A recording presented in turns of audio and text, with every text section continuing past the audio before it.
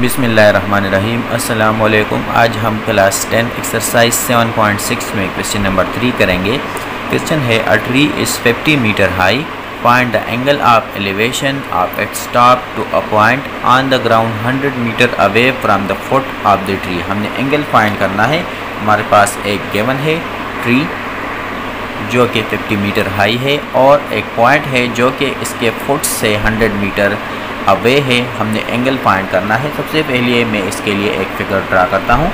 Late हमारे पास ये tree हो गया और ये हमारे पास गेवन है कि इसका लेंथ जो है वो 50 मीटर है। ये मैंने लिया है ट्री और ये हमारे पास गेवन है कि यहाँ पर एक पॉइंट है।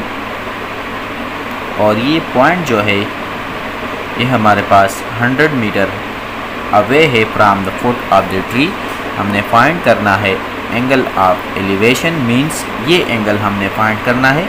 इसके लिए मैं टीटा का नाम देता हूँ। तो अब हमारे पास परपेंडिकुलर 50 है और बेस हमारे पास 100 है। तो टेंजेंट थीटा हम जानते हैं कि टेंजेंट थीटा बराबर होता है perpendicular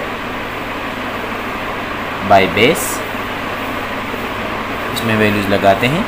So tangent theta tangent theta is equal to perpendicular है हमारे पास यहाँ पर 50 बाई बेस है हमारे पास 100 so tangent theta is equal to इसको कैलकुलेट करते हैं तो इससे आता है वन ओवर टू फिफ्टी और 100 दोनों को 50 से डिवाइड कर लें तो वन ओवर टू हम टीटा फाइंड करेंगे तो टेंजेंट इस साइड पर शिफ्ट कर लेंगे तो theta is equal to tangent inverse हो जाएगा of one over two